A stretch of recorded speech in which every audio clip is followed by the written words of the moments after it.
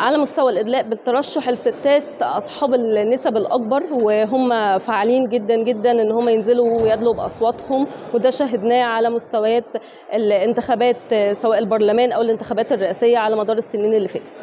لكن على مستوى الترشح بالنسبة للانتخابات الرئاسية فللأسف ما زالت مصر تحت خط الواحد في المية في نسبة حتى فكرة الترشح يمكن عندنا السنة دي كانت السيدة جميلة إسماعيل رئيسة حزب الدستور كانت نازلة الانتخابات وبالفعل قدمت ترشحها وجمعت التوكيلات لكن الحزب أعلن بعد كده إن هو مش هيكمل الانتخابات الرئاسية وهي تراجعت علشان خاطر هي بتمثل لاي قرارات بيتخذها الحزب.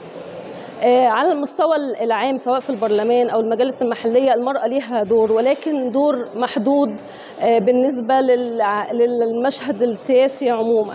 عندنا البرلمان الماضي كان في نسبة مشاركة من السيدات عالية جدا ولكنها أغلبها كانت من القوائم مش من الترشح الفردي. يمكن حوالي ستة أو سبعة سيدات فقط هم اللي فازوا من ترشحهم بوجه فردي. الباقي كان من القوائم. أو كان من التعيين من خلال رئيس الجمهورية.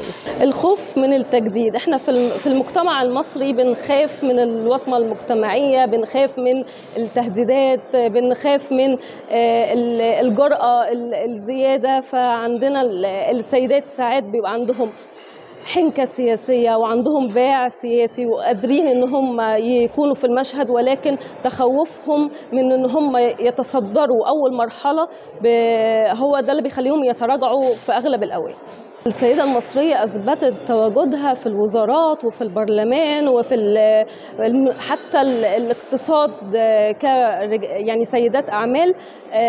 السيدة المصرية ناجحة جدا ولكن بيبقى في تخوف دايما من رئاسة الجمهورية يعني إن يبقى في واحدة عندنا رئيسة جمهورية في بلد عربي مسلم دي جديدة علينا ما شفناهاش قبل كده ويمكن ما نشوفهاش السنين اللي جاية. لكن المفروض دلوقتي نخلي بالنا منه هي البرلمان والمجالس المحلية. لو إحنا دعمنا المرأة مش بالكم بس بالكيف إن وجود سيدات لائقات وعندهم فكر وعندهم منهج وعندهم أجندة في المجالس المحلية وفي البرلمان ده هيخلينا بعد كده نصطفي منهم ناس تقدر تكمل لرئاسة الجمهورية وتبقى عندها القدرة إن هي تنافس في السباق السباق الرئاسي لغاية الآخر ما يكونش مجرد بداية جمع التوكيلات وثم انسحاب.